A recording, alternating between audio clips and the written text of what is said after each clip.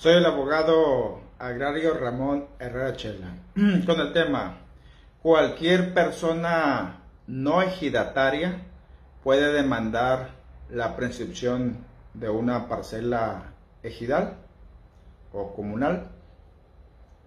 Te comparto el WhatsApp 66 91 13 70 43. Repito, 66 91 13 70 43. Puedes comunicarte desde cualquier parte del país, también desde el extranjero, si necesitas alguna asesoría, incluyendo si eres un colega que ocupa un punto de vista. Cotiza tu asesoría, dalo por hecho que lo que pague es simbólico en comparación con lo que vale y que está en juego o en riesgo por un problema legal. En ese mismo número también puedes solicitar que te integren a un grupo de WhatsApp donde puedes interactuar, cambiar opiniones, puntos de vista sobre la materia agraria. Y también ahí dan información acerca de cursos, diplomados en temas actuales que no están abordados por los libros ni por las leyes. En Facebook está el grupo Derecho Agrario, toda una comunidad grandísima. Ahí también puedes ir a consultar, plantear tu duda, tu pregunta, tu problema. Y ahí entre todas y todos te procuramos ayudar en las respuestas. Eh, YouTube también es el canal Ramón Herrera Chela. Es el único buscador de temas agrarios, más de 500 videos. Por ejemplo, ¿quieres saber qué es la prescripción?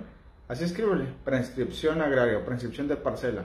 Pero siempre agrega al final Ramón Herrera para que de inmediato YouTube o Google te ponga a la vista el video que andas buscando o que tiene relación con el tema.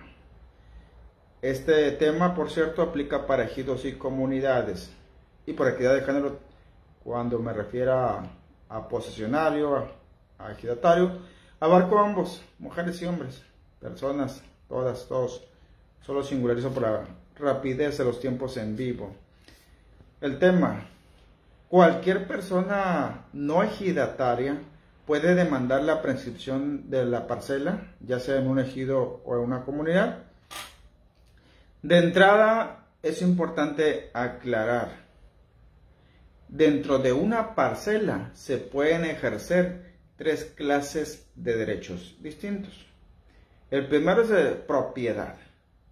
En teoría, elegido como persona moral que tiene patrimonio propio es el propietario de la superficie en donde está constituida esa parcela, delimitada con un cerco, un corral.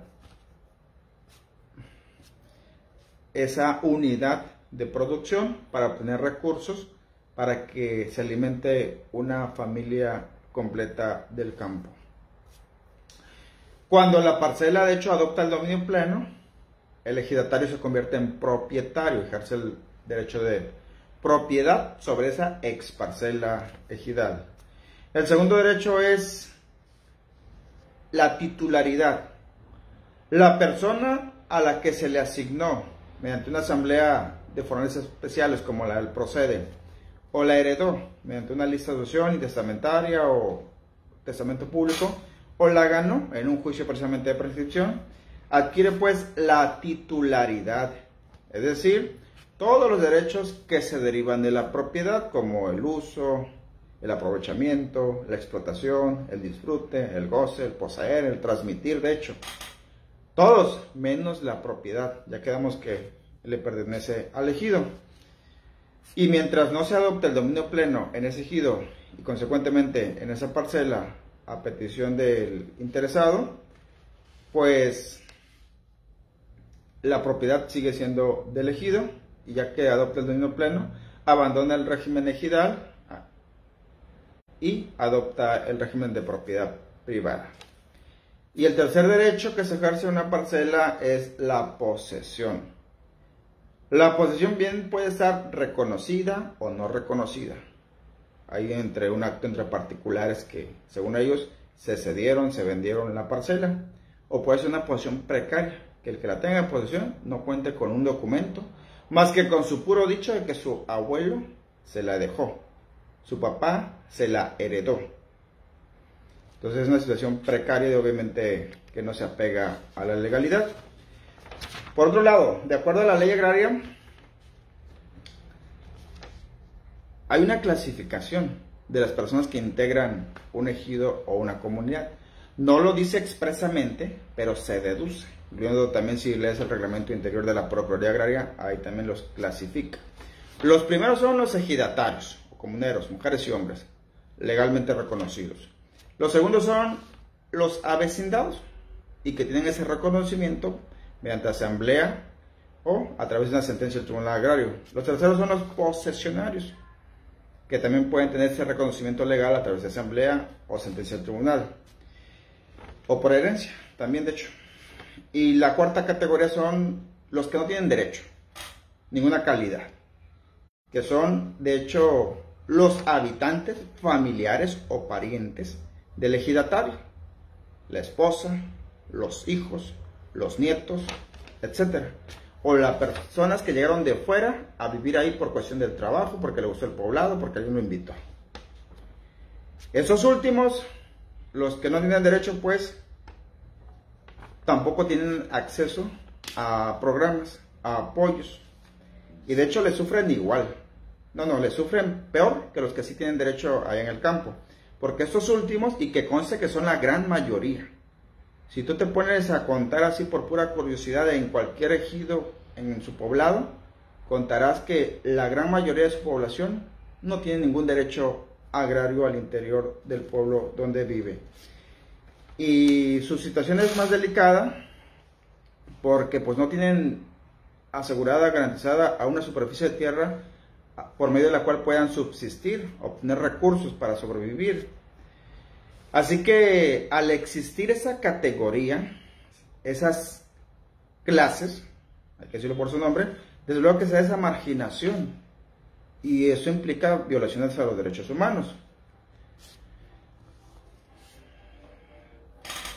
Y ahí sigue, en nuestras narices, y nadie hace nada por ello.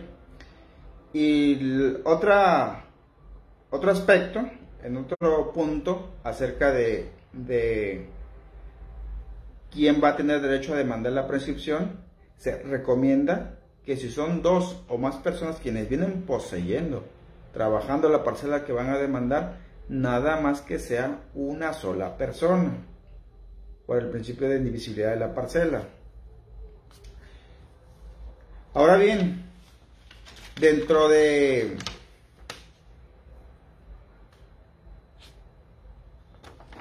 elegido y también existe otro derecho, el derecho virtual.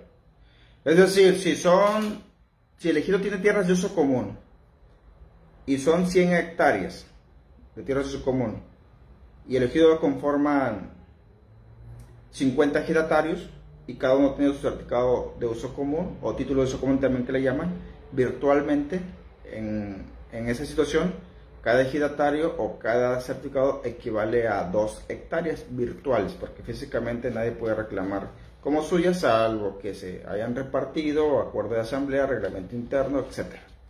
Pero aún así es virtual, aunque físicamente tengan cercados o con correal dos hectáreas. Esa tierra sigue siendo tierra de uso común, propiedad del ejido como persona moral. Sobre esos temas es complejos porque la ley nada más dice que sí existe la prescripción, da unas pinceladas y hasta ahí he impartido algunos cursos virtuales sobre la prescripción. Incluso hasta niños se pone de acuerdo. Algunos ministros o magistrados del Poder Judicial de la Federación le llaman prescripción positiva, en los tribunales le llaman prescripción adquisitiva, ya sea de buena fe por 5 años, de mala fe por 10 años. Ahí explico todos esos detalles. De hecho, hay un curso que está próximo a, iniciar en vivo. También lo puedes ver grabado. Ahí está el teléfono 6691 1370 43. Pues, respondiendo a la pregunta inicial, a manera de conclusión, sí, cualquier persona puede demandar la prescripción. Basta con que reúna los requisitos que señala el artículo 48 de la ley agraria vigente. Ojo aquí, ¿eh? La titularidad de la parcela o de las parcelas es un derecho preferente o privilegiado para los ejidatarios, mujeres y hombres, o comuneros, mujeres y hombres. Pero afortunadamente no es un derecho exclusivo para ellos. Y precisamente el artículo 48, si lo revisas, no condiciona al que va a demandar la prescripción a que forzosamente tenga la calidad reconocida legalmente de ejidatario comunero.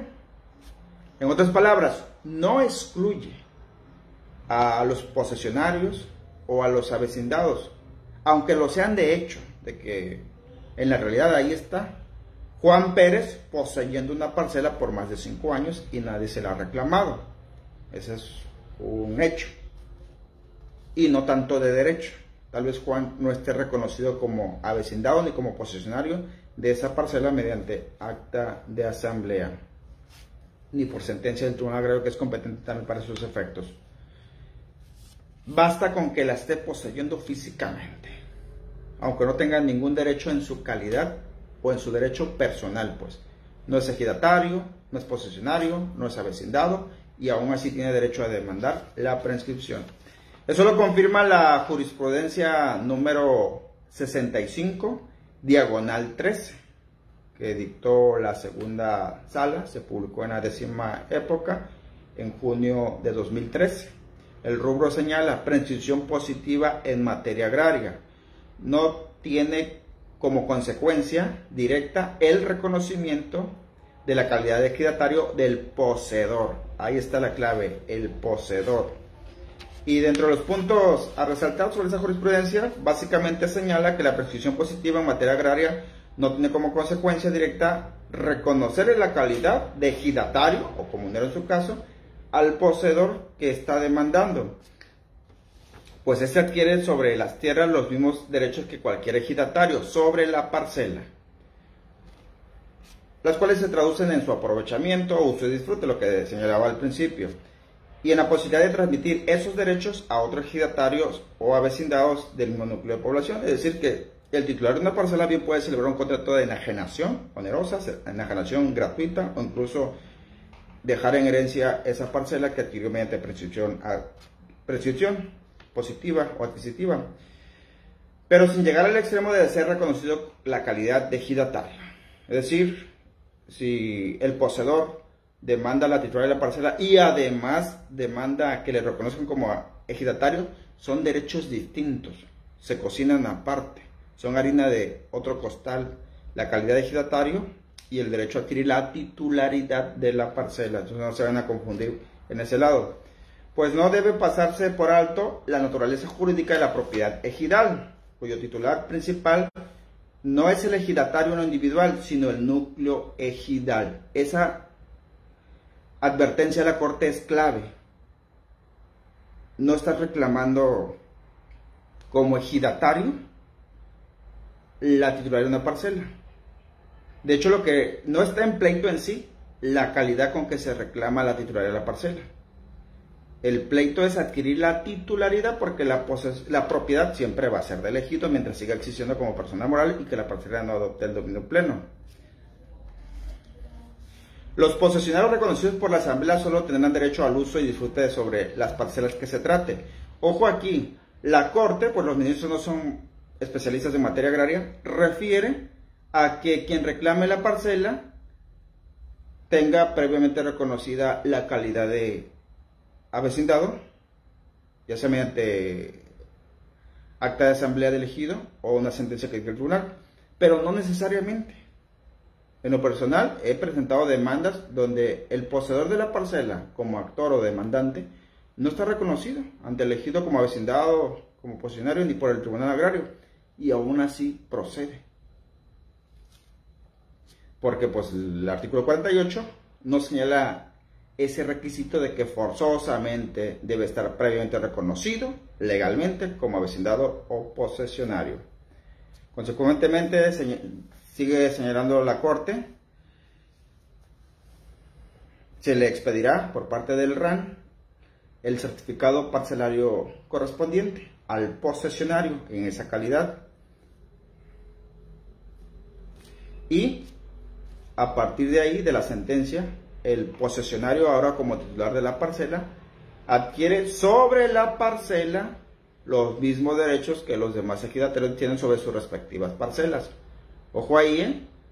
no le reconoce derechos dentro del ejido, en la asamblea, voz y voto, derecho a ser candidato, que reciba una parte proporcional de los beneficios, dineros o apoyos que se reparten en el ejido. Eso se cocina aparte, no hay que confundirlo. Y también cito una segunda jurisprudencia, precisamente de la segunda sala, la número 194, diagonal 2016, que se dictó también en la décima época de enero del 2017, que de hecho esta jurisprudencia también es interesante, en realidad se eh, trata el tema de que si entre cónyuges pueden prescribir, la jurisprudencia dice que sí, pero por ahí ponen las condiciones. El caso es que de lo rescatable de esta jurisprudencia en relación al tema que nos ocupa, señala en su texto, establece que el artículo 48 de la ley agraria que cualquier persona, hasta lo pone entre comillas ahí el ministro, es decir, el poseedor puede ser una persona ajena al ejido o al núcleo de población, siempre y cuando cumpla con los requisitos del artículo 48 de la ley agraria. Además de que dicho poseedor puede acudir ante el tribunal agrario para una resolución respecto a la adquisición por prescripción adquisitiva de la parcela que tiene en posesión.